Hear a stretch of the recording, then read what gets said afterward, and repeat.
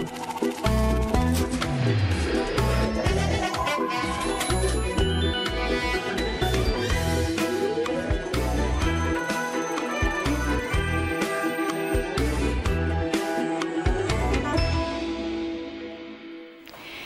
bir yaz səhərində hər birinizi salamlayırıq. Dəyərli tamaşaçılar, sabahınız xeyir olsun, gününüz xoş və mənalı keçsin. Salam, sabahınız xeyirli olsun, əziz və çox dəyərli ATV Səhər izləyiciləri. Xoş gördük sizi və elə dəyərli həmkarımın dediyi kimi doğrudan da gözəl bir yaz səhərini yaşayırıq.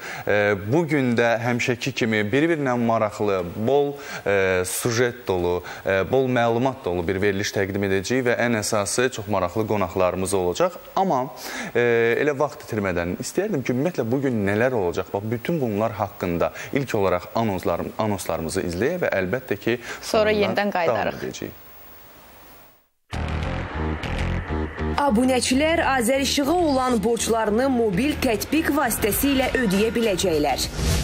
Koronavirusun insandan heyvana keçmə halı aşkarlandı. Dünya səhiyyəsi bu faktı təsdiqləyirmi? Evə aldığımız ərzaq mallarını virus və bakteriyalardan necə təmizləyək?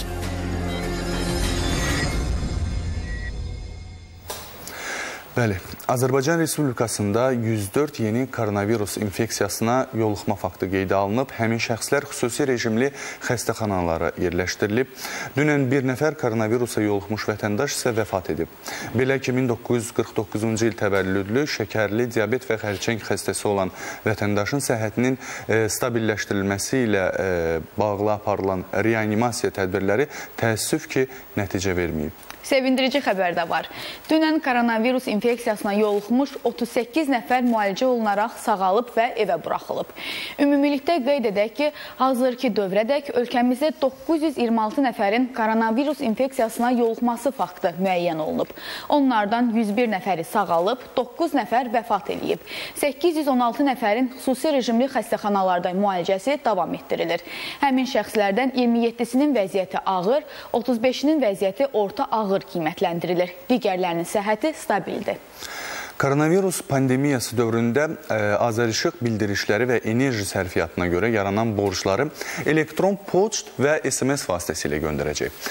Bu barədə qurumun mətbuat xidmətinin rəhbəri Tanrıverdi Mustafayev məlumat verib. Onun sözlərinə görə istehlakçılar elektrik enerjisi borcunu da evdən çıxmadan Azərişığın mobil tətbiqi vasitəsilə ödəyə biləcəklər.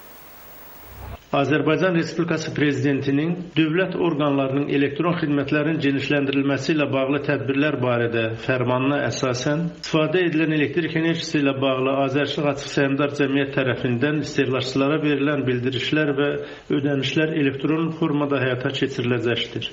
İstehlakçılar pandemiya dövründə bildirişlər sistem vasitəsilə risksiz əldə edə biləcək.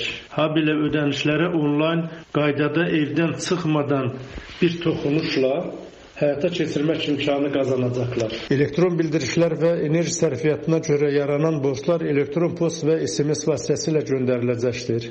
Sistem göndərdiyi məlumatları və bütün digər əməliyyatları insan faktoru olmadan avtomatik həyata keçiriləcəkdir.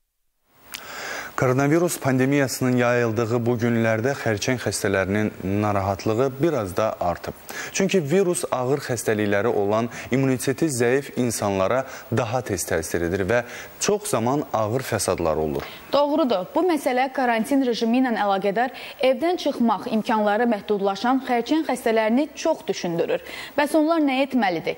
İmmuniteti necə gücləndirməlidirlər? Bunun yolları haqqında Azərbaycan Tibb Universitetinin onkoloji klinikasının Klinikasının onkoloqu Günay Əhmədova ATV Səhərət danışıb.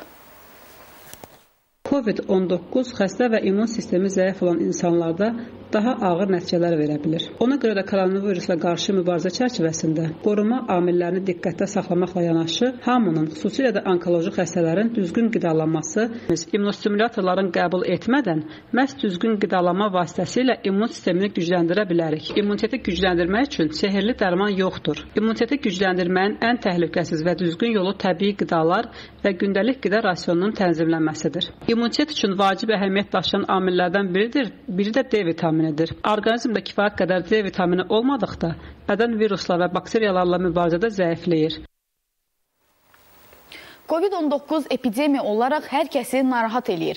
Bundan yanaşı bir çoxlarında müəyyən suallar doğurur. Maraqlıdır ki, xəstəlik fərqli ölkələrdə fərqli nisbətdə yayılır və nədənsə BSJ və ya vərəm əleyhinə olan peyvəndin mövcud olduğu ölkələrdə yoluxanlar daha azdır. Görəsən bu bir təsadüfdür, yoxsa çox maraqlıdır.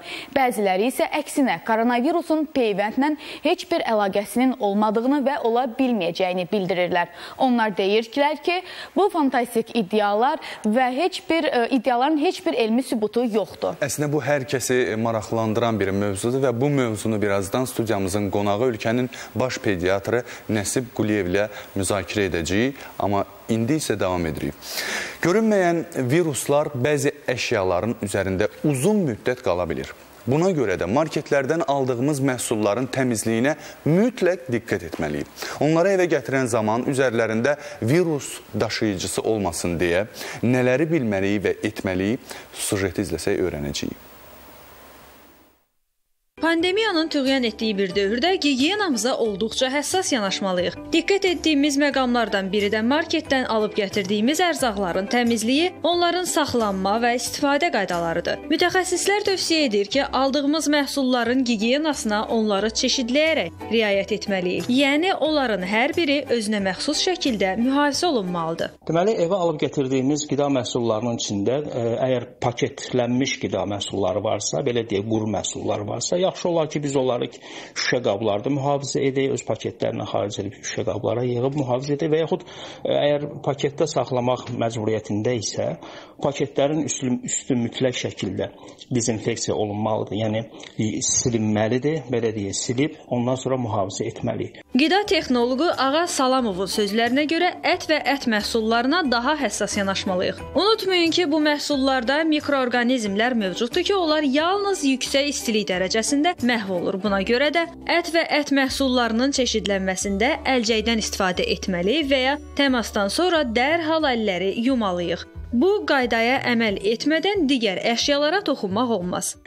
Və əgər alıb gətirdiyimiz qida məhsullarının içində ət və ət məhsulları varsa və yaxud tərəvəzlər var, biz deməli doğrama taxtalarına diqqət etməliyik.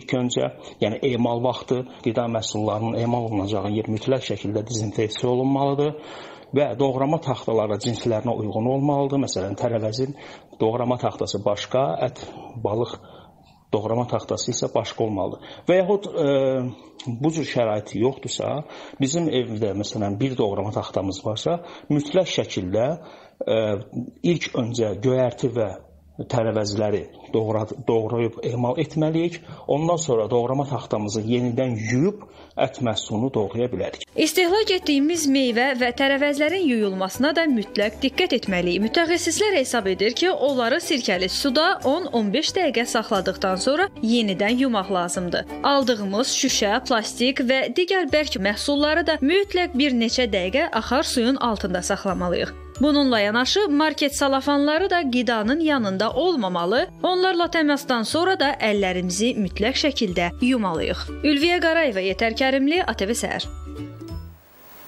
Dəyərli tamaşaçılar, bildiyiniz kimi koronavirus pandemiyası dünyanı cənginə almaqda davam eləyir. Təəssüf ki, Azərbaycanda da bu virusa yoluxanların sayı getdikcə artmaqdadır. Yoluxmanın azalmasına nail olmaq üçün bizim də üzərimizə böyük məsuliyyət düşür, evdə qalmaq lazımdır. Yox, əgər sizin çöldə zəruri işiniz varsa, bunun üçün mütləq SMS-lə icazə almağı unutmayın.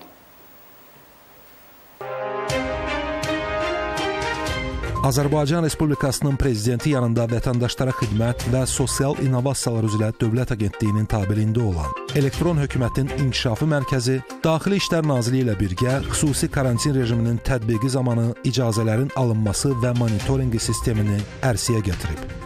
Evdən çıxmaq istədiklərinə dair icazə əldə etmək üçün vətəndaşlar mobil nömrədən icazənin məqsədini bildirən xüsusi kodu və şəxsiyyət vəsiqəsinin seriya və nömrəsini SMS ilə 8103 qısa nömrəsinə göndərirlər.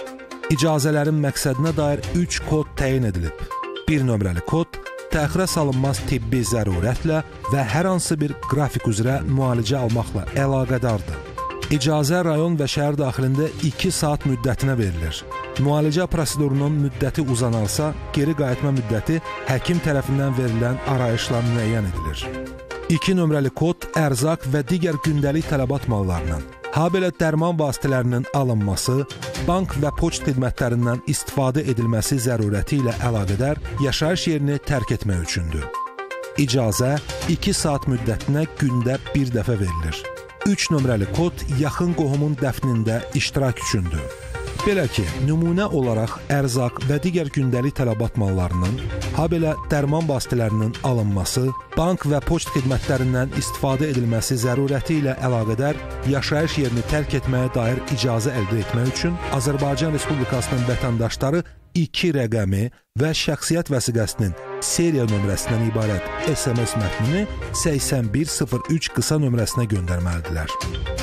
Azərbaycan Respublikasında müvəqqəti və ya daimi yaşayan əcnəbilər və ya vətəndaşlığı olmayan şəxslər, həmçinin Azərbaycan Respublikası ərazisində müvəqqəti olma müddəti uzadılmış əcnəbilər və ya vətəndaşlığı olmayan şəxslər icazə kodunu şəxsiyyəti təsdiq edən sənədin seriya və nömrəsini 8103 nömrəsinə göndərməklə icazə əldə edə bilərlər. Vətəndaşların müraciətinə gələn cavab SMS-ində icazənin qüvvədə olduğu müddət göstərilir. Vətəndaşlar yaşayış yerini yalnız müsbət cavab aldıqdan sonra tərk edə bilərlər. Sizə cavab mesajı 1 saat ərzində gələcək. Həyat və sağlamlığa bilavasitə təhlükəli vəziyyət yarandıqda yaşayış yerini tərk etmək üçün SMS icazəsinin alınması tələb olunmur. Həmçinin şəxslər məhkəməyə və ya hüquq mühafizə orqanlarına çağırıldıqda SMS göndərilmədən yaşayış yerini tərk edirlər. Vətəndaşlar SMS icazə sistemindən istifadə qaydaları və SMS göndərilməsi ilə bağlı yaranan çətinliklərlə əlaqədar Asan Xidmətin 91 08 çağrı mərkəzinə müraciət edə bilərlər. Yaşı 65-dən yuxarı insanlara evdən çıxmaq qadağandır. SMS sistemi vasitəsilə icazə alınması zamanı sui-istifadə halları daim araşdırılacaq. Belə hallara yol verən vətəndaşlar barəsində ciddi məsuliyyət tədbirləri görüləcək. Bəli, əziz tamaşaçılar, evdə qalın, darıxmayın və bizə baxın. Ümumiyyətlə evdə e, darıxan qadınları mən adətən başa düşmürəm. Çünki nəzərə alsaq ki, evin kifayət qədər işləri var ki, e, gündəlik olaraq günün bütün saatlarında qadınların işi olur evdə mən ilk dəfədir bunu eşitdiyimə çox təəccüb edirəm Elçin siz kişilərdən. Çünki bunu çox düzgün qeyd edirsən. Yəni qadınlar evdə qalsa belə onların darıxmağa doğrudan da vaxtı olmur. Məsəl üçün bəzi kişilər var ki, deyirlər ki, nə edirsiniz ki, evdəsiz də, yəni. Amma məsəl üçün darıxmağa doğrudan da vaxtı olmur. Bunun yemək bişirir, səhər uşaqlarını yola salır. Məsəl üçün qadının evdə də işi çoxdur. Doğrudan da qadının evdə işi kifayət qədər çoxdur. Mən adətən evdə də belə deyirəm ki, yəni bizim işdə gördüyümüz iş sizin evdə e, gördüyünüzdən daha azdır. Çünki doğrudan evdə e, iş e, kifayət qədər çoxdur. Nəzərə alsaq ki, deyək ki, adi işlərdə işlənir, müəyyən bir hansısa saat çərçivəsində işləyilir, amma qadınlar evdə səhərdən axşamacan işləyirlər. Hı -hı. Yaponiyalı Mari Kondo isə ev yığışdırmanın hətta fəlsəfəsini belə kəşf eləyib. Yorulmadan zövq almaq şərti ilə ev yığışdırmaq istəyirsinizsə, əməkdaşımız Maya İmranın hazırladığı maraqlı bir reportaja baxaq.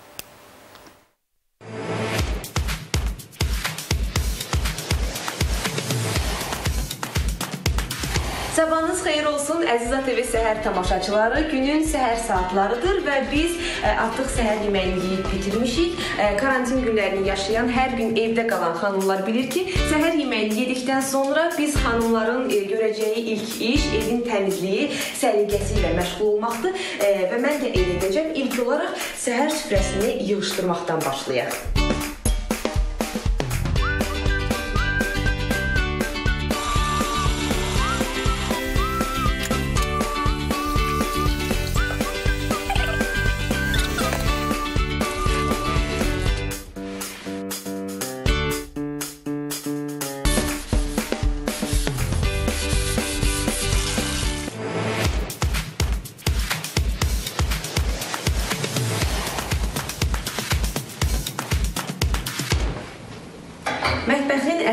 İşlərini demək olar ki, yekunlaşdırdıq, qaldı tamamlayıcı işlər. Məsələn, bu e, yuyulan qabların e, qurdularaq yerinə yığılması ola bilər.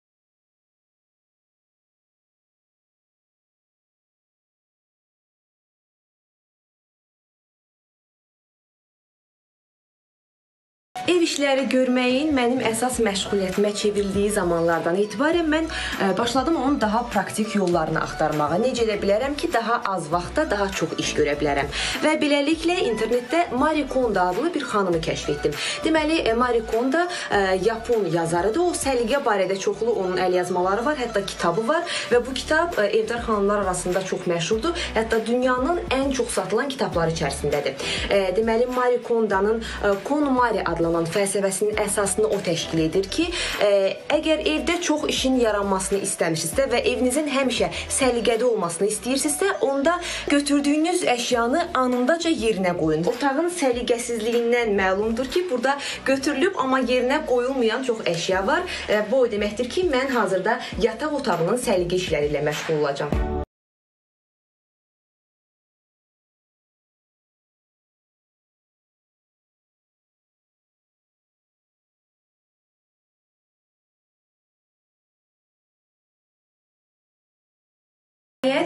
Otağındayıq. Düzünü deyim ki, hər zaman ev işlərlə məşğul olanda e, ən sona qonaq otağını saxlayıram. Çünki burada həmişə nisbətən iş az olur. Əslində hər şey təmizdir. Sadəcə biraz səliqəsizlik var və bu da bizim çox az vaxtımızı alır.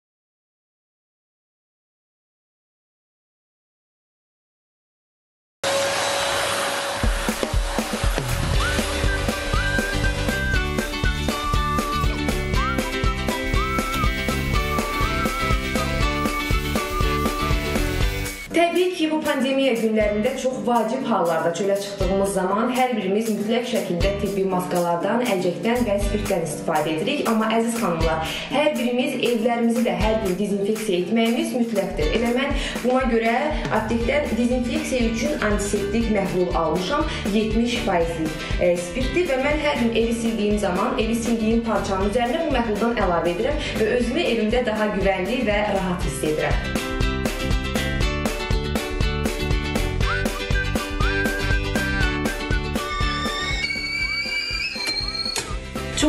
İstifadə etdiyim bir e, vərdişim var, daha doğrusu metodum var. E, həmişə ev işləri görən zaman sonda özümü nə eləsə mükafatlandırıram və sonradan oxuyanda gördüm ki, bu əslində KonMari fəlsəfəsinin əsas ideyalarından biri imiş. Deyirəm həmin vərdişi sizinlə bölüşüm. Belə ki, mütləq ev işlərinə başlayanda özünüzü proqramlaşdırın ki, sonda özümü nə eləsə mükafatlandıracağam. Bu gün gördüyüm işlərin yekununda isə mən özümü yenicə dəmlədiyim çay və dünən hazırladığım piroqla mükafatlandırıram və bütün fikirlərimi Marie Kondanın bir fikri ilə yekunlaşdırmaq istəyirəm. Əslində bu gün iş görməyimdə həmin fikir mənim çox işimə yaradı. Belə ki, Marie Konda deyir ki, hər gün gördüyünüz eyni işlər sizi bezdirməsin deyə hər gün işə başlayarkən bir şey düşünün. Sonda sizin eviniz daha rahat və gözəl görünəcək və bunun sizə verdiyi zövq isə həmin işi görərkən aldığınız yorğunluqdan daha güclü olacaq.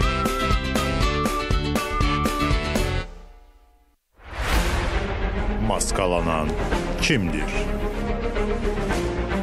Tap, hədiyyə qazan.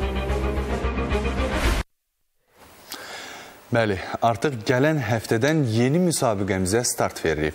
ATV Səhər sizi məlumatlandırır, marifləndirir, gününüzə pozitiv rəng qatır və həm də qazandırır. Bu dəfə hədiyyələri gəlib götürməyə də ehtiyac olmayacaq. Siz evdə qalın, biz onu sizin evinizə gətirəcəyik. Ona görə də verilişimizi izləməyə də davam edin. Biz isə qısa reklam fasiləsinə ayrılırıq, reklamlardan sonra yenidən birlikdəyik.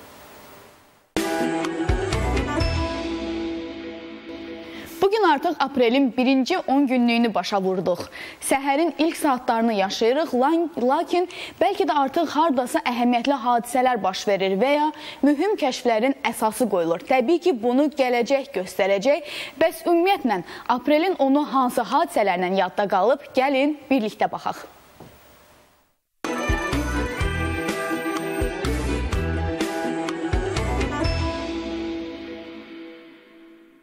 1870-ci il aprelin 10-da ilk dəfə Nebraskada ağac əkmə günü və ya ağaclar günü qeyd olunub. O gündən etibarən hər il aprelin 10-da bir sıra ölkələrdə yaşıllıq zolaqları və parklar salınır. Meşələrin bərpası istiqamətində işlər görülür.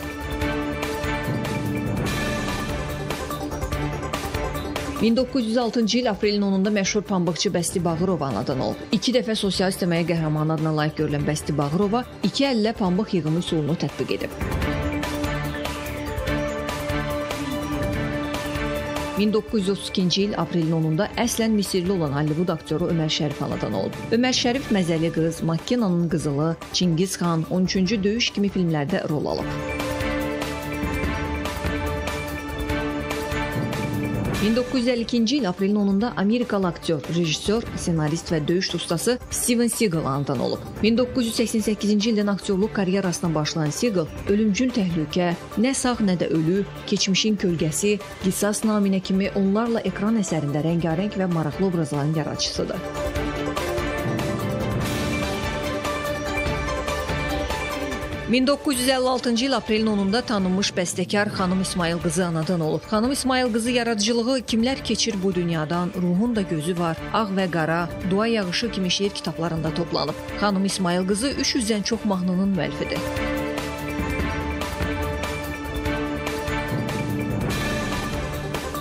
1973-cü il aprelin 10-da Braziliya futbolçusu sol cinah müdafiəçisi Roberto Carlos anadan olub. Roberto Carlos zərbənin gücü və sürəti rekorduna sahib futbolçu kimi də tarixə düşüb. Futbol üzrə dünya çempionatının qızıl və gümüş mükafatçısı olan Carlos UEFA Çempionlar Liqasında 100-dən çox oyunu keçirən 19 futbolçudan biridir.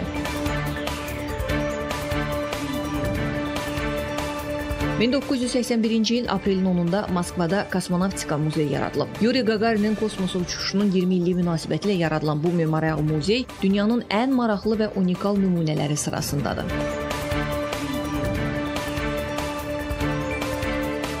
10 aprel həm də dünyanın bir çox ölkələrində ailəvi bayram olan bacı və qardaşlar günü kimi də qeyd olunur. 1998-ci ildə ilk dəfə qeyd olunan bu gün qohumluq münasibətlərinin möhkəmlənməsinə, eləcə də ailə ənənələrinin davam etdirilməsinə yönəlib.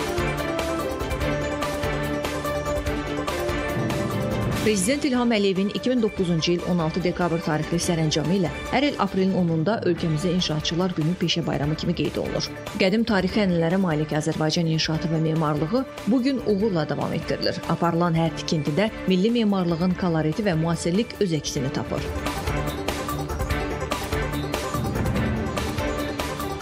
2019-cu il aprelin 10-da ilk dəfə qara dəliyin tam əks olunduğu foto ictimaiyyətə təqdim olunub. Qara dəliyin varlığı iddiasını John Mitchell və Pierre Simon Laplace bir-birindən xəbərsiz olaraq hələ 18-ci əsrdə irəli sürüblər.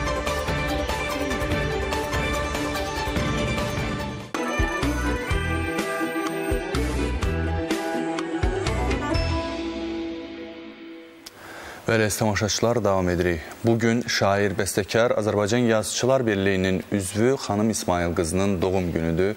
Doğum günü münasibəti ilə biz də təbrik edirik. Nəinki biz, e, illərlə, uzun illər birlikdə çalışdığı sənətkarlar da onu təbrik edib. Gəlin elə e, əməkdaşımız Əli Novruzəliyevin hazırladığı sujet izləyək.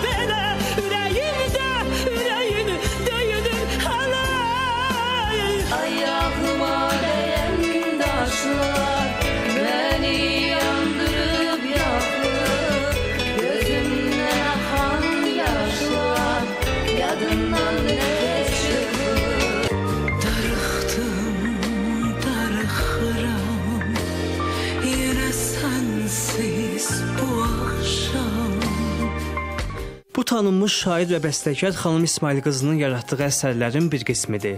Gənc yaşlarından bədii yaradıcılıqla məşğul olan bəstəkarın ilk şeiri Yol qəzetində dərc olunub. Qələmini poeziya, publisistika və tərcümə sahəsində sınayan xanım İsmail qızı 1979-cu ildə jurnalist kimi fəaliyyət göstərib, mətbuatda məqalə, oçerk və esseləri dərc olunub. 300-dən çox mahnının söz yazarı və bəstəkarıdır. Əbəs yerə deyil ki, onu sözün və musiqinin xanımı adlandırırlar. İnsan 50 yaşa qədər e, düşünür ki, hər şey irəlidədir. Sən hələ nələrsə gözləyir, nələrsə olacaq filan. E, 50-dən sonra anlayırsan ki, çox şey arxada qalıb. Ömrünün e, əsas ə, hissəsi və əsas belə deyim də o şövqlü hissəsi arxada qalıb. 50-dən sonra sənə hədiyyə olunan hər ilin dəyərini bilməyə başlayırsan və ona görə də bir ili də yaşamağı qeyd eləyirsən ki, bu ili də yaşadın və artıq özün özünə hesabat verirsən. Ad günümdə məsələn xatirələrin bir də oyanan gün, günü kimi mən onu hiss eləyirəm. Şeir və musiqi nə vaxt yaranır? Təbii ki, mən yaradıcı insanam. Allahın mənə ən böyük hədiyyəsi elə odur ki, mənə bu iki qanadı verib, həm musiqi, həm söz. Musiqi və şeirlərim duyğum, duyğularımın, düşüncələrimin, hisslərimin tərcüməsidir. Xanım İsmail qızı estradamızda ən parlaq ulduzlarla çalışır. Xalq artisti Aygün Kazımova və Brilliant Dadaşova bəstəkarı özünə məxsus şəkildə təbrik ediblər. Salam, hər vaxtınız xeyirli olsun, gününüz uğurlu olsun, gözəl xəbərlərlə dolu olsun. Xanım İsmail qızı, mənim canım İsmail qızı deyərdim hətta mən. Xanım, canım mənim. Ee, biz neçə illər bərabər çalışmışıq. Xanım çox gözəl insan, birinci növbədə onu söyləyim. Çox maşallah istedadlı bir bəstəkardır. Mənim repertuarımda xanım İsmail qızının bəstələdiyi mahnıların özəl yeri var. Elə bir ikisinin adını çəkimsə, Ayağıma değen daşlar Beni yandırıp yakıp Gözümden akan yaşlar Yadından ne tez çıkıp Ayağıma değen daşlar Kişiler, kişiler, kişiler Ondan sonra Tezgər mahnısı ise xüsusi mənim həyatımda onun rolü var. Əvvəlcə olunmayan ə, mahnılar bəxş etdi mənə. Happy birthday to you. Happy birthday to you. Happy birthday dear xanım xanım. Happy birthday to you. Bu gece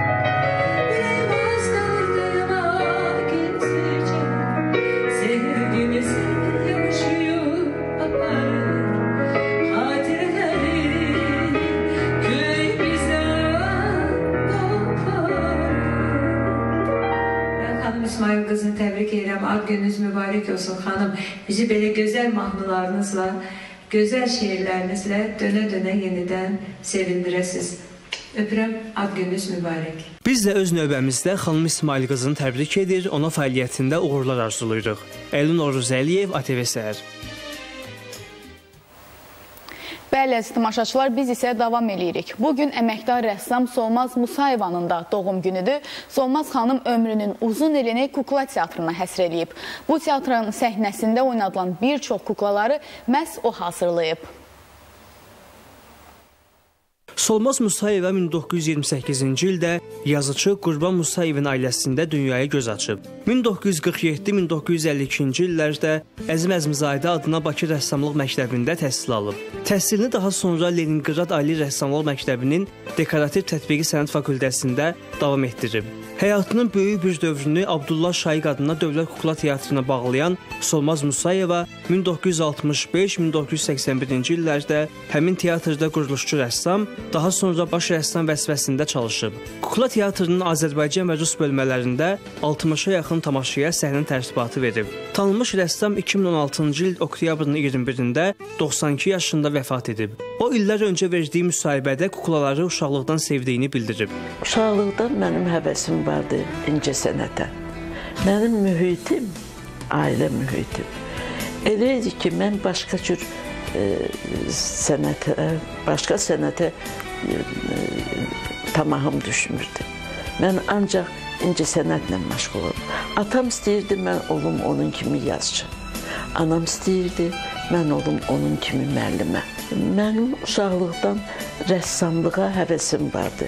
Balaca kətilim vardı, otururdum orada, qırağında. Balaca vaxtdan bunlar arzularına əks gedərək mənim üçün albom, karandaşlar, rəngli karandaşlar itiliyirdilər. Azər mənim üçün yonurdu, karandaşları verirdi mənə. 6 yaşım vardı. Mən də otururdum, dinməz, söyləmə.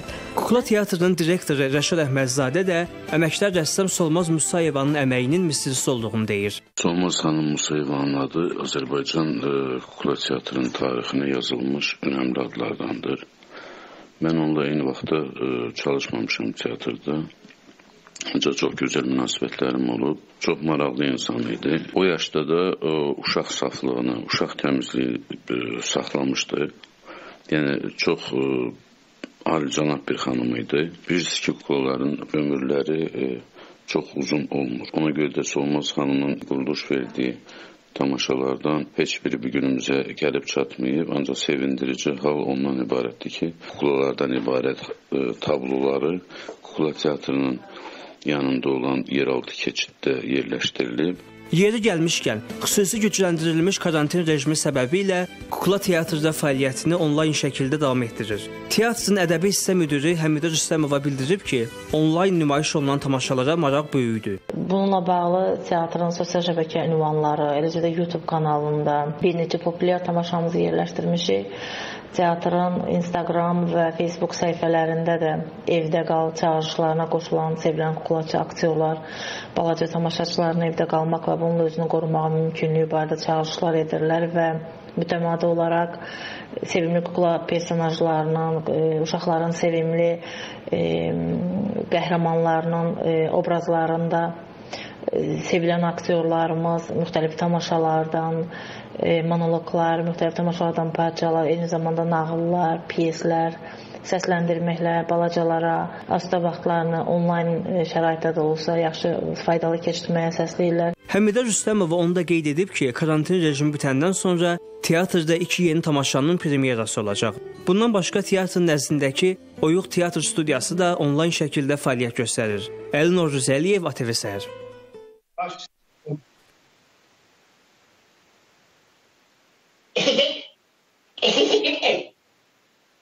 İyi. Salam. İyi. Beni işitirsiniz. Her vaktiniz hayır olsun. Hər vaxtınız xeyirli olsun. Necəsiz Elçin dayı? Çox sağ ol, çox sağ ol. Sən necəsən? Elləmə siz də oradasınız, necəsiz? Yaxşıyam, çox sağ olun. Bu karantin günlərində nə edirsən? Ben çok darıkıram. Dostlarımız için darıkıram. Bir istəyirəm ki, testamentolar başlasın. Hemen de yeniden öz doğmacı altımızda kaydım. Ama bu uşaqlar için darıkmışam. Yani siz de bizim için darıkmışsınız, he? Təbii ki, dostların da Təbii sənin ki. üçün darıxır. Amma bu müvəqqəti bir e, çətinlikdir. Əlbəttə ki, yenidən sən öz dostlarına qovuşacaqsan.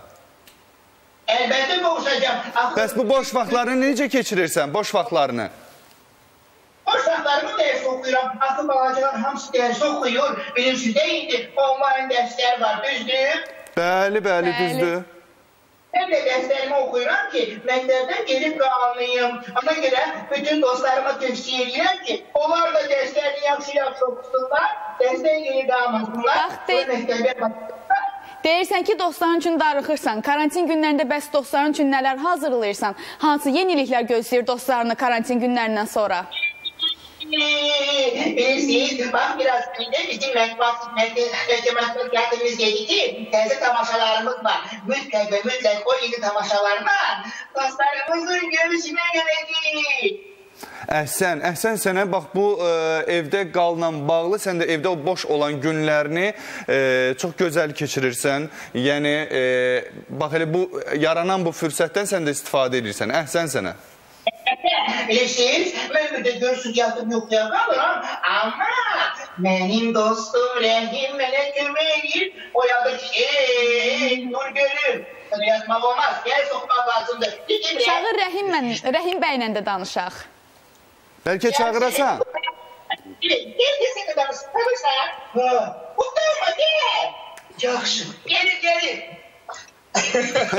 Salam sabahınız xeyir olsun. Salam sabahınız xeyirli olsun və əziz tamaşaçılar qeyd edim ki, qonağımız e, Abdullah Şahiq adına Kukla Teatrının çox gözəl, sevilən aktyorlarından Rəhim Rəhimovdur. E, Salam sabahınız xeyirli olsun Rəhim bəy, xoş gördük sizi.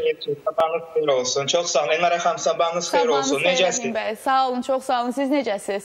Öncə mən sizə təşəkkür edirəm ki, siz məhz bizim üçün çalışırsınız. ATV kanalına təşəkkür edirəm. Bütün ümumiyyətlə telekanallara təşəkkür edirəm ki, siz özünüzü riskə atıb hər gün efirdəsiz, heç nəyə baxmayaraq, amma biz isə evdə qalıb sizə baxırıq və e, zövq alırıq verilişlərinizdən. Təbii ki, xəbərlərdən məlumatları da alırıq. Çalışırıq ki, evdə qalaq, e, sağlamlığımızı qoruyaq. Nəinki özümüzün, elə ətrafdakıların da sağlamlığını qoruyaq ki, e, nə bilim hər kəs bizim üçün doğmalarımız önəmli insanlardır.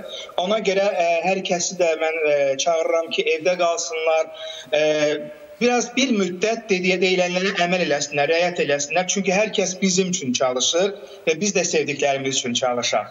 Biz də sizə təşəkkür edirik ki, tamaşaçılarınızın, balaca tamaşaçılarınızın, həmçinin bizim də səhər-səhər əhval-ruhiyyəmizi yüksəltdiniz. Çox təşəkkür edirik sizə. E, Rəhim bəy, bir çox kuklalarım var. Əgər vaxtınız varsa mən sizə göstəreyim. Göstərin, buyurun, buyurun. buyurun. Göstərin. Bakın burada cırtdanımız var. Görürsünüz. Aha. Ve burada bakın çok geçen marionet kuklalarımız var. Ee, mən onu da sizə göstərim. Ee, bunu mən mütləq qeyd eləməsəm olmaz. Bu rəhmətli Ələkbər əmi xatırlayırsınız həqiqətən. Bəli, bəli. Ələkbər əminin kuklalarıdır gördüyünüz kimi. O Polşadan bunları alıb gətirmişdi. Bizim yeni tamaşamız olacaqdı. Çox təəssüflər olsun ki, bizdə alınmadı bu tamaşa. Çünki müəyyən səbəblər Allah ona qəni-qəni rəhmət eləsin. Və bax bu Ələkbər əminin kuklalarıdır. Burada bir kuklamız da var. Prince kuklası. Daha doğrusu Karol. Baxın, şah. bu da gözəl kuklalardır. Marini. Burada bu kuklalardan bax əziz dostlar, yəqin ki siz yeni-yeni tamaşalarda bizim kuklalarımızı da görəcəksiniz. Nəinki bunları, hətta Kukla Teatrının sizin üçün hazırladığı yeni tamaşaları hal-hazırda bizim teatrımızda Qızıl Balıq tamaşası e, hazırlanıb. Çox gözəl bir tamaşadır. İnanıram ki, hər kəsin ürəyincə olacaq. Aha, Rəhim bəy, bundan... e, bir sualımız vardı sizə. E, Sualımız vardı sizə. Bir çox teatrlar hal-hazırda e, onlayn tamaşalar e, göstərirlər tamaşaçılar üçün. Kukla teatrında necə? Bu onlayn tamaşalar göstərilirmi, hazırlanırmı? Ə, belə deyək, Kukla Teatrı hal-hazırda Mədəniyyət Nazirliyi və Mədəniyyət kanalının dəstəyi ilə ə, tamaşalarımız hazırda çəkilib və nəinki onlayn, hətta Mədəniyyət kanalında belə efirdə yayımlanacaq bizim ə, ə, tamaşalar. Ona görə ə, interneti olmayan, onlayn, yəni ə, belə deyək də, baxa bilməyən dostlarımız efir vasitəsilə bizim Efir vasitəsilə tamaşalarımıza də baxa bilərlər. Bəs virusdan Bəli. sonra hansı yeniliklər gözləyir balaca tamaşaçılarımızı? Virusdan sonra bax bilirsiniz qucağımızı Karantin belə rejimi açacağıq. bitdikdən sonra. Teatr olaraq gəlin qucağımıza, gəlin bizim yanımıza çünki sizin üçün çox darıxmışıq əziz dostlar. Deyəcəyik təbii ki, bütün bilirsiniz ki, Kukla teatrının repertuarı çox zəngindir. Nəinki e, xalq nağılları, müasir nağıllarımız da var. Hətta klassikaya da biz üstünlük veririk. Bilirsiniz ki, bu həftə özümüzə gələn həftə Üzeyir həftəsi olacaq və e, çalışacağıq ki, bu həftə ərzində olmasın, bu olsun tamaşasını da elə efirdə e, yayımlayaq, belə deyək. E, rəhmətli Yaşar Nuri orada tamaşada iştirak eləmişdi. Bilirsiniz ki, Məştəbad rolunda Yaşar müəllim olmuşdu. Mənim kurs rəhbərim olub o da. Və e, səmərəli vaxt keçirtmək üçün uşaqların e, belə deyək ki, biraz başlarını qatmaq üçün, evdə darıxmamaları üçün dərsdən bitirəndən sonra bizim ekran qarşısına keçib bizim tamaşalara baxa biləcəklər. Təbii ki. Rəhim bəy və istərdik e, sizin bax o kuklalar bir daha bizim balaca dostlarımıza buradan səslənsinlər. E, ümumiyyətlə hər kəs evdə qalmalıdır bu ərəfələrdə, amma evdə qalaraq vaxtı səmərələ istifadə etmək lazımdır. Mütləq, mütləq dəcəl danışmışdı. İndi isə cırtdan danışacaq. Cırtdan hazırsan? Əlbəttə hazıram. hə dostlar, mən də sizi salamlayıram. İnanıram ki, siz də bax bu fürsətdən istifadə edib dərslərinizdən geri qalmayacaqsınız, dərslərinizi oxuyacaqsınız. Vaxtınızı səmərəli keçirdib valideynlərinizlə qəşəng bir vaxt keçirəcəksiniz. Əgər darıxsaz, onda eyvana çıxıb biraz hava alın, yaxşı oyunlar oynayın. Bax indi müasir, çox müasir oyunlarımız var. Həm də ondan başqa internetdə çox maraqlı cizgi filmləri, çox maraqlı uşaq filmləri var. Onlara da baxa bilərsiniz. Narahat olmayın. Bu müddət az bir vaxtı keçəcək və biz yenə də sizlə görüşəcəyik. Həyətə düşüb oynayacağıq. Narahat olmayın. Bəli, Cırtdanın elə öz e, cizgi filmləri də var ki, onları da izləyə bilərlər. E, Çox təşəkkür edirik Rəhim YouTube bəy. kanallarından. Siz, mən təşəkkür edirəm. Çox sağ olun. Diqqətiniz üçün minnətdaram Sağ olun, və çox sağ olun. e, həqiqətən də çox dəyər verirəm bu önəmlərdə ki, siz e, belə bir fədakarlıq eləyirsiniz. Çox sağ olun Rəhim sağ olun, bəy. Təşəkkürümüzü Təşəkkür bildiririk edirik. və əlbəttə ki, bu bizim borcumuzdur. Biz vəzifə borcumuzu yerinə yetiririk. Əziz tamaşaçılar qeyd edin ki, qonağımız Abdullah Şaiq adına Kukla Teatrının sevilən aktyoru Rəhim Rəhimov idi. Biz isə qısa fasiləyə ayrılırıq, sonra davam edəcəyik.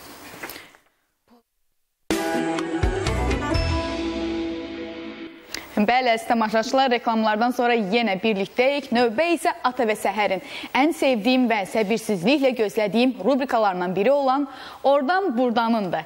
Əminəm ki, yenə də əməkdaşlarımız məni və siz tamaşaçıları təəccübləndirəcək. Birlikdə baxaq.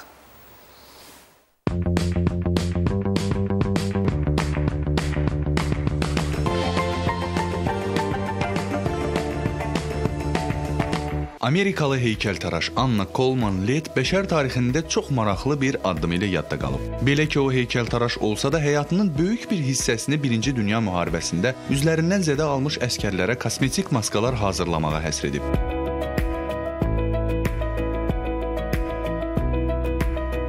Anna Coleman həyat yoldaşı Francis Derwentwoodla tanış olması bütünlükdə onun sənət fəaliyyətinin növünü dəyişdirir. Hər iki heykəltaraş müharibədən sonra əskərlərin əksəriyyətinin evinə qayıtmasında tərəddüd etdiklərini görür. Çünki 1-ci Dünya müharibəsində aldıqları xəsarətlər onların simasını tanınmaz hala salmışdı. Bunu görən hər iki heykəltaraş əskərlərdə yaşamaq həvəsini oyatmaq məqsədi ilə Cəsur Simasızlar studiyasını yaradır. Studiyanın əsas fəaliyyəti əskərlər üçün yeni protez maskaların hazırlanması olur. Üzün zədələnmiş hissəsinin gips qəlibi götürülür. Sonra eyni üzün fotoşəkildəki əslinə uyğun düzəldilirdi. Elastikliyi ilə seçilən bu maskalar tezliklə məşhurluq qazanır və bu üsulla Anna 100-ə yaxın insana kömək edərək onları yenidən cəmiyyətə qaytara bilir. Venera Günəş sistemində yerləşən ikinci planetdir. Onun adı Roma mifologiyasındakı sevgi və gözəllik ilahəsi olan Veneradan gəlir. Bu planet gecə səmasında aydan sonra ən parlaq ikinci təbii göy cismidir. Günəş sistemində yerləşən digər planetlərlə müqayisədə öz oxu ətrafında ən uzun dövr etməyə sahibdir. Venera digərlərindən fərqli olaraq əks istiqamətdə də fırlana bilir. Venera yer tipli planetdir. Belə ki, hər iki planet oxşar ölçülərə, kütləyə, tərkibə və Günəşə yaxınlığı ilə seçilir. Lakin Veneranın atmosfer təzyiqi planetimizdən 92 dəfə çoxdur. Bu göstərici yer kürəsində suyun 900 metr dərinliyində olan təzyiq göstəricinə uyğun gəlir. Venera Günəş sisteminin həm də ən isti planetidir. 462 Selsiyə çatan səth istiliyi ilə Günəşə daha yaxın olan Merkuridən belə istidir. Venera səthinin birbaşa görünməsinə əngəl olan sulfat turşlarının sıx bulud təbəqəsi ilə örtülüb. Planetin keçmişdə su okeanlarına sahib olması da düşünülür. Fərz edilir ki, istixana effektinin təsiri ilə su tədricən buxarlanıb. Gözəllik planeti Veneranın səthi lövhəyə bənzər qayalarla örtülmüş quru səhra kimidir və bu səth püskürən vulkanlar səbəbindən daima yenilənir. Haqqında danışacağımız quşun bir neçə adı var. Başmaq dimdikli leylək, balina baş və kral leylək. Bu adları o çox böyük və başmağa bənzəyən dimdiyinə görə alıb. Forma etibarilə leyləyə oxşasa da, daha çox qutan kimilərə aid edilir. Başmaq dimdikli leylək olduqca nadir quşdur. Dünyada ümumi sayı 10-15 min arasında dəyişir. Hətta qədim Misirdəki daş kitabələrdə belə şəkli var. Bu quşlar Afrikanın tropik şərq bölgələrində Sudandan Zambiyaya qədər böyük bataqlıqlarda yaşayırlar.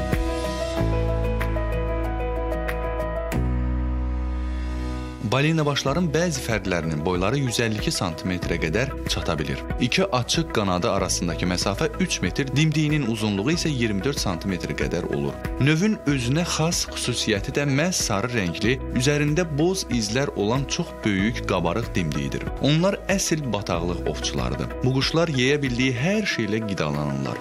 Yavaş hərəkətləri və uzun müddət heykəl kimi tərpənmədən ayaq üstə dayanması diqqət çəkici xüsusiyyətlərindəndir. Erkək və dişi quş birlikdə təxminən 3 metr sahəni təmizlədikdən sonra üzən bir platformada yuva qururlar. Suya bastırılmış olan bu platforma 3 metr dərinliyindədir. Yuvanın özü isə bəzən 2 metr böyüklüyündə düzəlir. Suda qurulan bu yuvalar yetkin bir insanın ağırlığına dözməyə qadirdir. Balinabaşların balaları yemək istədikdə insan hıçqırağına oxşayan səslər çıxarırlar.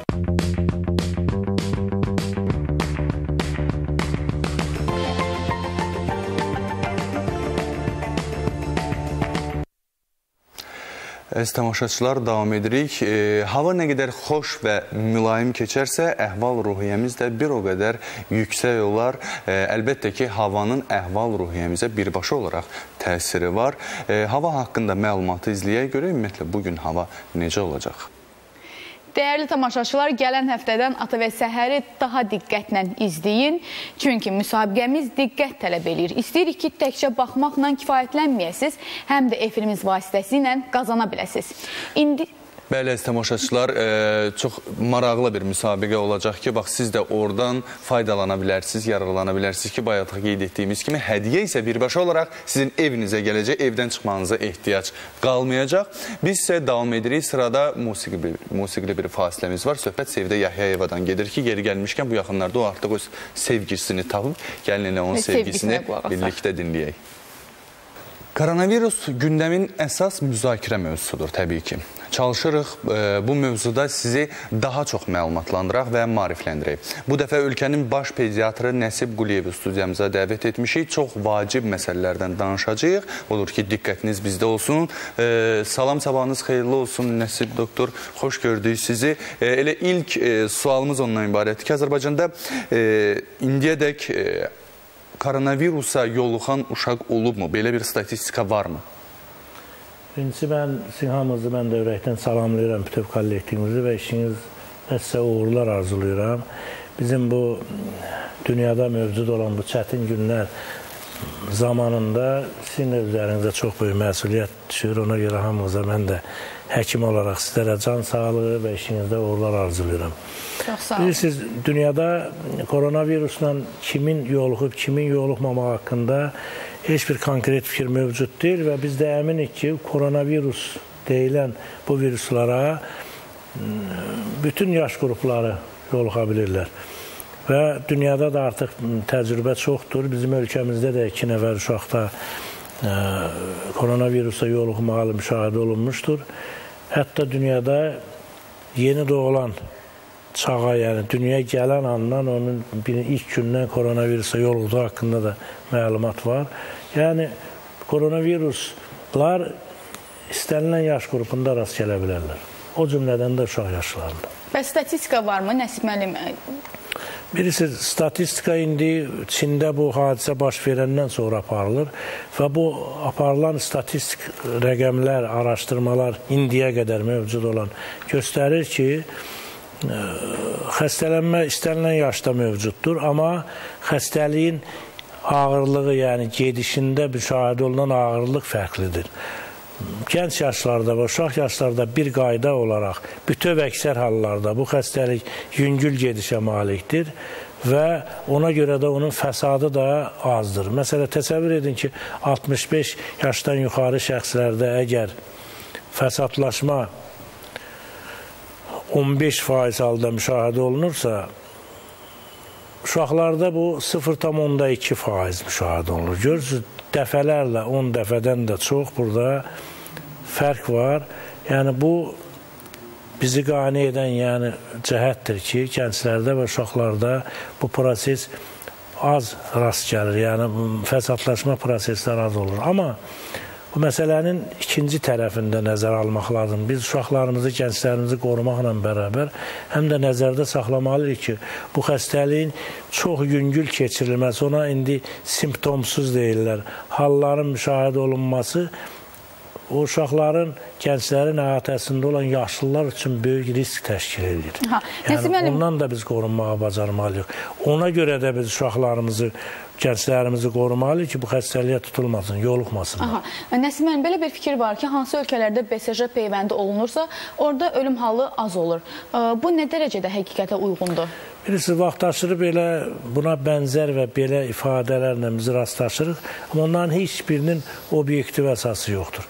Bu da eyni zamanda, yəni vərəmə qarşı vaksinasiya olunmağın bugün elmdə koronavirusla qorunmaq üçün bir mənasının olduğu heç kimə məlum deyil.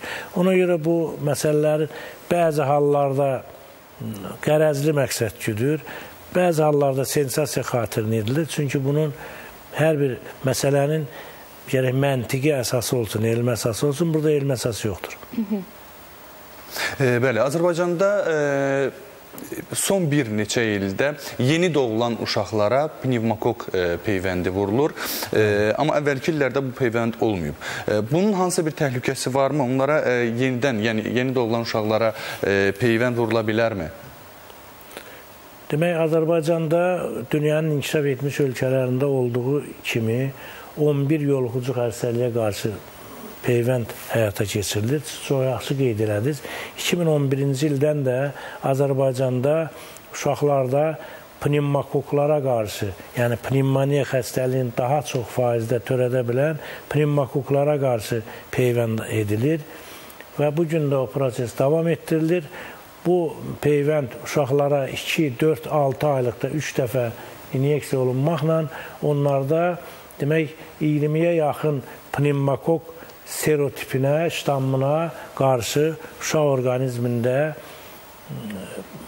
immunitet yaranır. Və bu da bu gün də uğurla davam etdirilir və biz bunun bundan sonra da davam etdirilməsinin tərəfdarıyıq. Aha. Nəsim müəllim, məsəl üçün ə, elə valideynlər var ki, onlar ə, yəni mütəmadi olaraq peyvənd olunur, etdirirlər uşaqlarına, amma hazırda bu mövcud şəraitlə bağlı onlar ə, apara bilmirlər uşaqlarını peyvənd etdirməyə. Bəs bu ə, hallarda nə etməlidirlər onlar? SMS-lə icazə almalıdırlar? Yəni nə etməlidirlər bu ə, vəziyyətdə? Çox sağ olun, çox maraqlı sualdır. Bu gün üçün də çox aktual sualdır. Birinci birisi ki, Azərbaycanda bu gün xüsusi karantin rejimi tətbiq olunur, mövcuddur, fəaliyyətdədir və bu xüsusi karantin rejimindənin qaydasına görə insanlara təcili və təxirə salınmaz tibbi yardıma ehtiyac olan hallarda onlar həkimə müraciət edib gedir, müraciət edirlər və bu belə şəxslərə yardım göstərilir, müvafiq tədbirlər həyata keçirilir. O ki qaldı planlı işlər, planlı işlər karan, xüsusi karantin rejiminin tətbiq olunduğu vaxtda bir qayda olaraq təxirə salınır. Yəni burada qorxulu nə yoxdur. Bütün valideynlərimizə, çox hörmətli valideynlərimizə də məsləhətim mənim budur ki, xüsusi karantin rejimi müddətində uşaqların peyvəndini müvəqqəti olaraq təxirə salmaq lazım. Ruslar ona medatvod deyirdilər. Yəni epidemioloji vəziyyətdə xəstələnmə təhlükəsi, problemlər olanda o vaxtın tibbi göstəriş əsasında geriyə çəkilməsi mövcud olub, mümkündür və bu gün də biz bunu etməliyik. Siz təsəvvür edin ki, bu gün yəni biz hesablama aparsaq görərik ki, Azərbaycanda bir gündə orta hesabla 400 nəfər bizim körpəmiz dünyaya gəlir.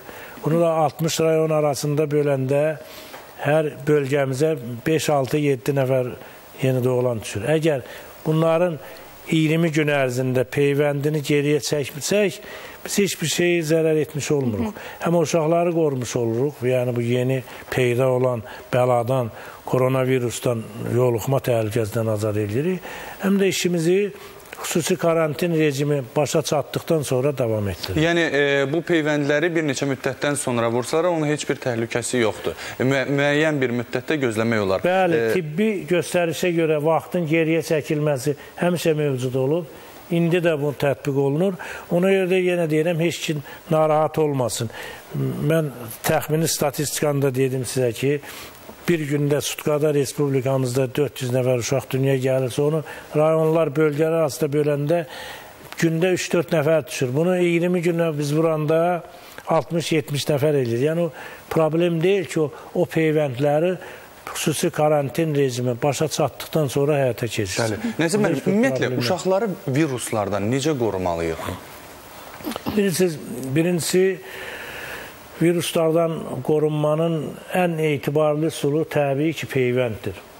İndi siz də bilirsiniz ki, bu gün bütün insanlıq, bəşəriyyət bir problemin üstündə daha çox gecə-gündüz çalışır görək kim koronavirusa qarşı vaksini icad edib ərsəyə gətirəcək, görürsünüzmü?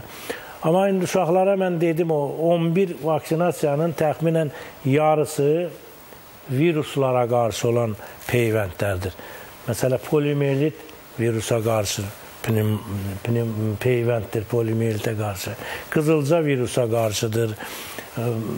Su çiçəyi virusa qarşı. Yəni dünyada tətbiq olunan peyvəndlərin yarıya yaxını virus əleyhinədir. Ona görə də uşaqları virusdan qorumaq üçün biz indi mövcud olan peyvəndlərdən istifadə etməli. Üstəgəl uşaq orqanizminin ümumi reaktivliyini və immunitetini gücləndirmək, yəni onun o viruslarla mübarizə aparmaq qabiliyyətini artırmaq üçün nə lazımdırsa onları etməliyik. Bu da təbii ki, uşaqların düzgün ilk növbədə doğulan andan düzgün qidalandırılmasından mən hər dəfə təkrar edirəm, bir də təkrar etmək istəyirəm. Bizim hər bir hörmətli valideynimiz, hər bir insanlar, insan bilməlidir ki, uşaqların əslində ilk peyvəndi ağız südü ilə həyata keçirilir. Ona biz elmdə bioloji peyvənd adlandırırıq. Çünki o ilk, ilk süd ki, ona ağız südü deyirlər, onun tərkibində o 9 ay hamiləlik müddətində orqanizmdə cəmlənmiş, depolaşmış bütün immun cisimlər mövcud olur.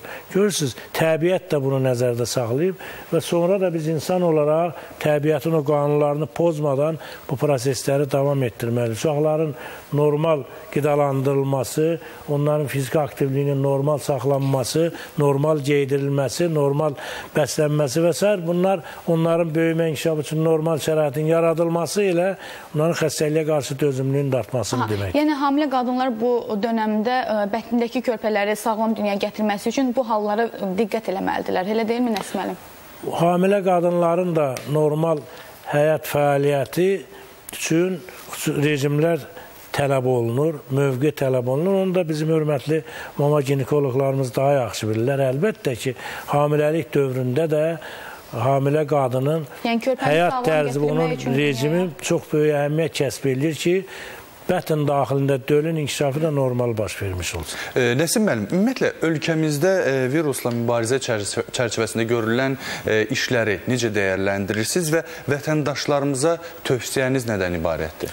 Çox sağ olun. Mən ölkəmizdə bu gün görülən tədbirləri çox yüksək qiymətləndirirəm. Çünki biz mən e, mütəxəssis olaraq, həkim olaraq hər gün dünyada mövcud olan statistik məlumatları tutuşturmaqla da məşğul olurum. Özüm üçün mütəxəssis olaraq da bunun əhəmiyyəti var. Biz bu hadisələrin içərisindəyik. Öncərgədə olmalıyıq. Tam mobilizə olunmalıyıq. Bu nöqteyi nəzərdən dövlətimizin gördüyü tədbirlə hətta mən belə hesab edirəm ki, biz fəxr edə bilərik ki, dünyanın indiki inkişaf səviyyəsində Amerika Birləşmiş Ştatlarında maska tapılmadığı halda New Yorkda insanlar maykalarını kəsib maska tikdiyi halda biz hər şeylə təmin olunmuşuq. Bizim apardığımız tədbirlərin böyük qismi vaxtından əvvəl, yəni profilaktik olaraq zaman itirmədən həyata keçirilib. Ona görə də biz bu günə qədər hələ belə obrazı desək sağ-salamat gəlmişik. Yəni fəlakət vəziyyəti mövcud olmuyor. Amma eyni zamanda dövlət tərəfindən tətbiq olunan bu xüsusi karantin rejiminə də bütün insanlar vəziyyəti anlayaraq bu fəlakətin, bu bəlanın nə olduğunu doğru, düzgün dərk edərək buna riayət etməlidir. Bəzən biz ziyalı olaraq təbii ki, biz özümüz də, bizim hər birimiz də buna riayət etməliyik bu qaydalara. Bəzən mənə özümə də qəribə gəlir. Dövlət bu qədər tədbiri görür. İnsandan tələb olunur ki, 15 gün, 20 gün otur evində, ye, iç, istirahət elə. Qidamı çatışır, təminatımız var, hər şey var.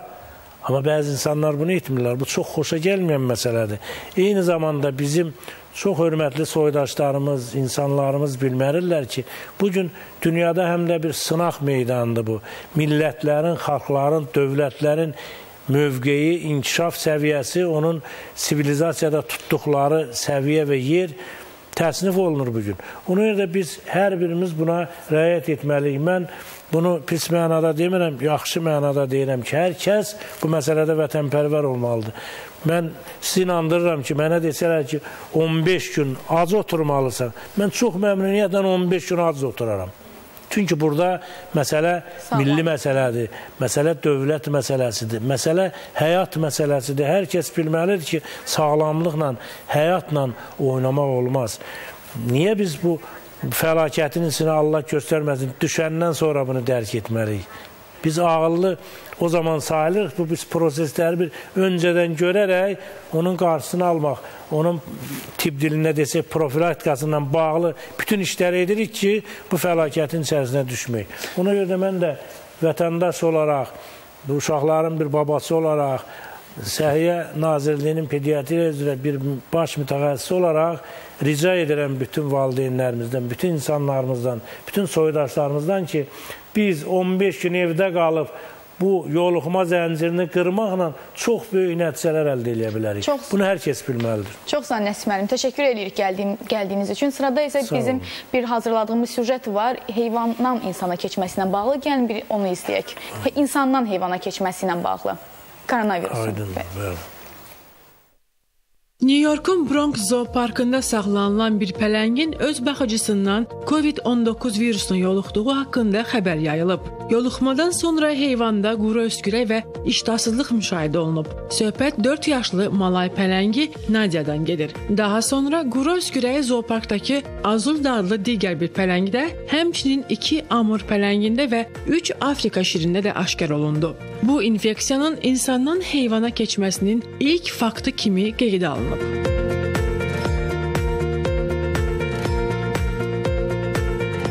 Maraqlıdır ki, pələnglərin təlimçisi koronavirus testi etməzdən əvvəl özündə heç bir xəstəlik simptomlarının olmadığını deyib. Zooparkın rəhbərliyi isə heyvanların xəstə olmasına baxmayaraq onların çox aktiv olduqlarını deyir. Baytar həkimi Svetlana Məmmədova bildirir ki, COVID-19 virusunun heyvandan insana yaxud da insandan heyvana keçməsini hələ ki elm sübut etməyib. Bir çox məlumatlar yayımlanmışdı ki, güya ki, ə, xəstə bir qadından parodalı bir cinsə, itə, ə, deməli, hansını ki bu xanım saxlayırdı, ona bu virus keçib. Bu iti götürdülər, karantin altında saxladılar. 12 gündən sonra, yəni cürbəcür analizlər, testlər və s. keçiriləndən sonra bir neçə test elədilər və bu test ə, mənfi nəticə göstərmişdi. Yəni bu virusun yayılan əsas mənbəsi Çində olub. Bu Çində milyonlarla heyvanlar saxlanılır və heç bir heyvanda bu virus çıxmamışdı. İki heyvanda, iki itdə belə desək, ə, şübhə var idi. Bunlar karantin altına alınmışdı və nəticələr mənfi çıxmışdı. Mən düşünürəm ki, ə, bu sadəcə olaraq şayədir. Çünki heyvanlarda olan viruslar tamam başqa formadadır və insanlara keçə bilməz və eləcə də insanlarda olan ə, hər hansı bir virus heyvanlara keçmir. Ə, xüsusilə yəni hal-hazırda bizdə söhbət gedir COVID-19-dan. COVID-in heyvanlardan insana və yaxud insandan heyvana keçirilməsi barəsində heç bir dəlil, heç bir sübut yoxdur. Baytar həkim Svetlana Məmmədova həmçinin onu da qeyd edib ki, bu dövrlərdə istər evdə saxlanılan heyvanların, istərsə də parklarda saxlanılan vəhşi heyvanlara xüsusi qulluq lazımdır. Onların bütün gigiyenik prosedurlarına əməl olunmalı, vaxtı-vaxtında peyvəndlənmə aparılmalıdır. İnsanlıq üçün çətin olan bu dövrdə dörd ayaqlı dostlarımızı da unutmayaq. Onlardan öz qayğımızı və diqqətimizi əsirgəməyək. Axı biz onlara görə məsuliyyət daşıyırıq. Sevinç Tofiq qızı ATV Səhər. Bəli, əziz tamaşaçılar, ATV Səhər qaldığı yerdən davam eləyir. Bizə yeni qoşulan tamaşaçıları salamlayırıq və hər birinizin sabahınız xeyir olsun deyirik. İndi bizlə Skype bağlantısında dəyərli bir həmkarımız var. Özü də bir vaxtlar Səhər proqramının aparıcısı olub. Söhbət jurnalist Aytən Səfərvadan gedir. Bəli, əziz tamaşaçılar, adətən e, bizim e, efirin qonaqları e, ümumiyyətlə evdən Skype bağlantısına bağlanır, amma bu dəfə elə e, ATV kanalının daxilindən bizim e, dəyərli həmkarımız jurnalist e, Aytən Səfərvadır. Salam, sabahınız xeyirli olsun Aytən xanım. Sabahınız Xoş gördük sizi. xanım. Sabahınız xeyir olsun. Ee, Skype bağlantısı e, axırıncı dəfə e, əlbəttə ki, televiziyalarda ancaq uzaq məsafələrdə olurdu, amma ATV-də xüsusi karantin rejiminə əlbəttə hamı əməl edir və çalışırıq bir-birimizdən artıq təması da bir qədər uzaqlaşdıraq və yaxşı ki, bu Skype var.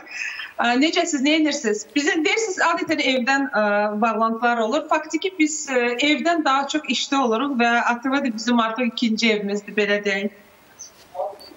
Təbii ki, bu e, karantin günlərində hər kəs evdə qalır, amma e, xüsusi qrup insanlar var ki, elə onlardan da e, jurnalistlərdir ki, onlar da məhz vəzifə borclarını e, yerinə yetirərək iş başında olurlar. Siz ümumiyyətlə boş vaxtlarınızda evdə e, uşaqlarla necə keçirirsiniz vaxt? Nəzərə alsaq ki, uşaqlar da e, dərslərini belə onlayn şəkildə e, keçirirlər. Yaxşı ki, hələ bir uşaq dərs keçir e, orta məktəbdə, o birislər balacada, amma bu ildən inşallah ümidvaram ki, tez bu e, bəla gedəcək yer, yer kürəsindən ümumiyyətlə. E, O birislər balacadılar. İnandırım sizə, üçü də dərs keçsəydi rahat olardı. Evdə, uşaq bağçası yaşında balaları olan hər bir valideyn bilir ki, Dərs eləyən oturub orada dərsini yazır. Ən rahatı odur. O birislər evi dağıdırlar, amma evdən boş vaxtım olmur. Evə gələn kimi, ana mənə nə almısan? Ana mənə nə almısan? Hər gün elə bir ki, nəsə, həmişə deyirəm ki, hər şey olmaz, almaq və s. Otururam, başlayıram yenə başa salmağa. Bir 15 dəqiqə, 20 dəqiqə ona gedir. Sonra başlayıram onların dağıtdıqlarını, törtöktü, bütün hamısını törüb tökdüklərini yığışdırmağa. Sonra yemək bişirmək, süfrə açmaq və sonra hamı yatandan sonra uzanıram ölülər kimi səhərə qədər. Boş vaxt nədir? Biz tərəfdə bilmirlər. Amma işdə çalışıram ki, bütün günü bir saatdan bir 106.3 FM və 106 FM-də ən son məlumatları çatdıraq və ə, bizim borcumuzdur kütləvi informasiya vasitələrinin, əsl jurnalistlərin borcudur ki, ə, cəmaatımıza, insanlarımıza təmin eləsinlər ən son məlumatlarını. Bəli, Aytən xanım e, və istəyirdik ki, elə bizim e, izləyicilərimizə, tamaşaçılarımıza sizin də bir çıxışlarınızı, evdə qalla bağlı çıxışlarınızı edəsiz və e, əlbəttə ki, biz hamımız e, insanlara səslənirik ki, evdə qalsınlar. Bu çətin günlərdə bir-birimizə dəstək olma olmalıyıq və ən əsası yaxınımızda, ətrafımızda olan insanları qorumalıyıq. Bir də Elçin əlavə eləyim. Mən adətən ə, bağlantılarımızda, Skype bağlantılarımızda qonaqlar tamaşaçılar üçün nəsə ifa eləyir və yaxud da ki, tövsiyələr verir. Siz amma elə ikisini də eləyə bilərsiniz. Seçim Yəni sizindir. taburetkadan yıkılırlar idman eləyəndə. Belə hallar da olur, bəli. Olur, bəli, olur. Bu təbiidir ona görə. Biz seçimi sizə ə, veririk Aytən xanım.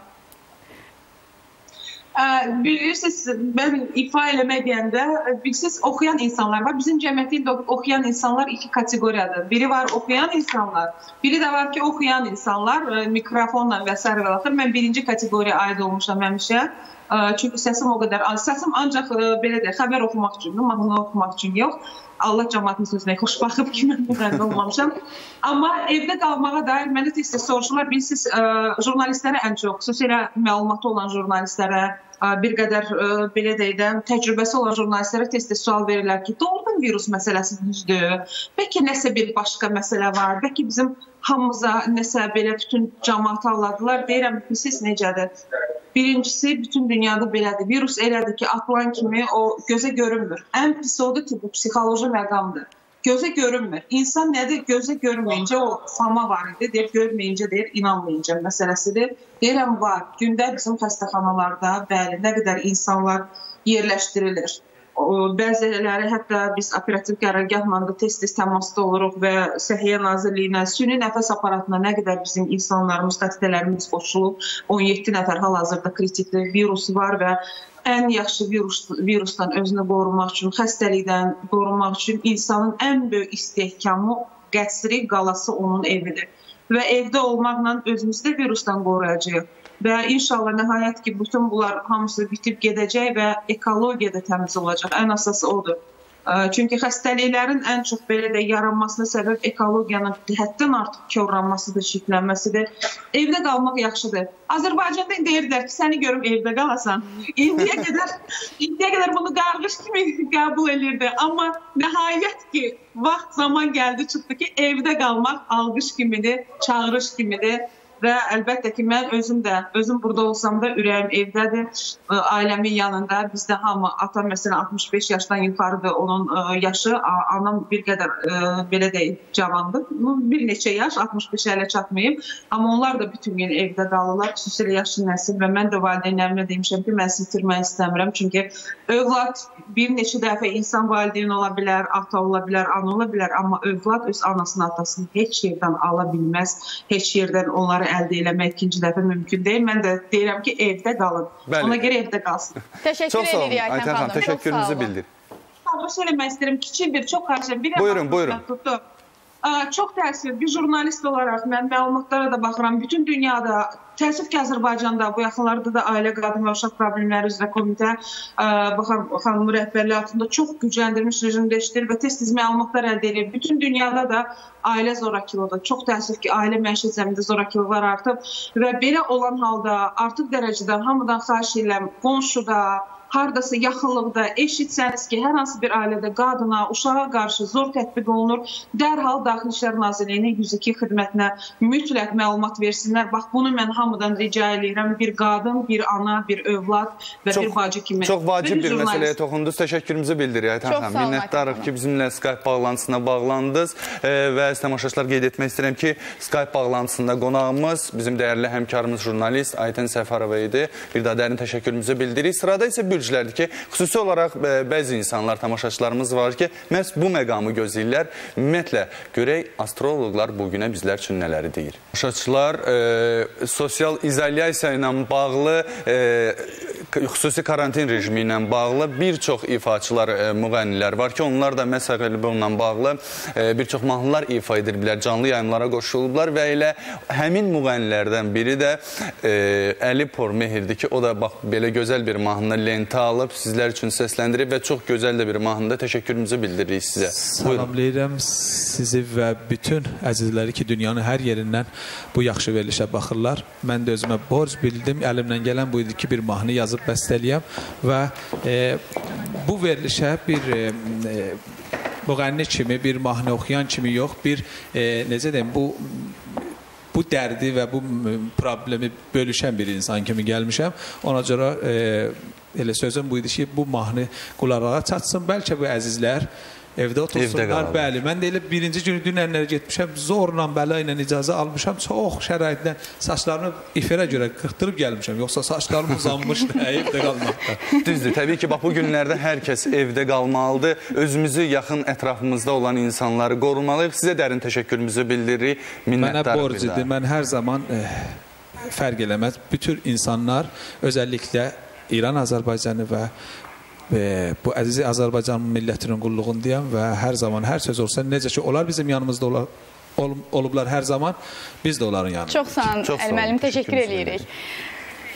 Ə, Hər gün cümə günü Ata və Səhər izləyiciləri Hara gedək rubrikasını izləmək üçün Hara gedək rubrikası üçün darıxıblar təbii ki. Təəssüflər olsun ki, koronavirus təhlükəsi ilə bağlı hələ müəyyən müddət biz hara gedəcəyik, nə də siz evdən çıxmağı məsləhət görəcəyik. Amma siz internet vasitəsilə dünyanın hər yerinə səyahət edə, səyahət edə biləcəksiniz.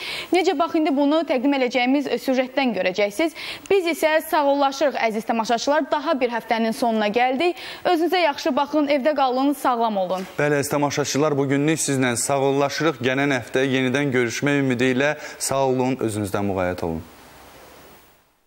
Koronavirus dünya ölkələrini sərhədləri bağlamağa məcbur etməklə yanaşı, özü ilə bir çox digər qadağalar da gətirdi. İndi konsertlər keçirilmir, teatr salonları tamaşaçıların üzünə bağlanıb, futbol oyunları təxirə salınıb. Bu dövrdə muzeylər də fəaliyyətini dayandırıb. Ancaq hazırda bəzi dünya muzeylərini oturduğumuz yerdən ziyarət imkanımız var. Necə? Təbii ki, onlayn rejimdə. Elə isə başlayaq qardaş ölkə Türkiyədən. Ayasofya, Bəylərbəyi sarayı, Safanbolu evlərini virtual gəzmək istəyirsinizsə, 3dmekanlar.com saytına daxil olmağınız kifayətdir. Saytda adları çəkilən muzey və tarixi məkanlarla yaxından tanış ola biləcəksiniz.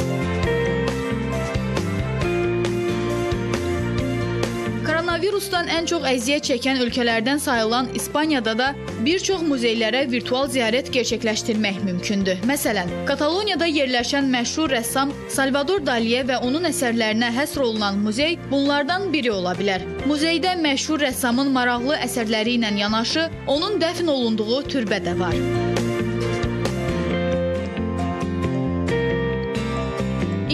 İngiltərənin və dünyanın ən böyük muzeylərindən biri Britaniya muzeyi də bu günlərdə virtual olaraq ziyarətçilərə xidmət edir. 18-ci əsrə aid olan bu tarixi məkanda sərgilənən 8 milyondan çox eksponat böyük marağınıza səbəb olacaq. Eksponatlarının zənginliyinə və dəyərinə görə dünya muzeyləri sırasında ön yerlərdən birini tutan Louvre-da onlayn rejimdə fəaliyyətini davam etdirir. Muzeyin saytına daxil olmaqla siz burada sərgilənən David, Rembrandt, Rubens, Da Vinci kimi bir çox məşhurların əsərləri ilə yaxından tanışlıq gözləyir.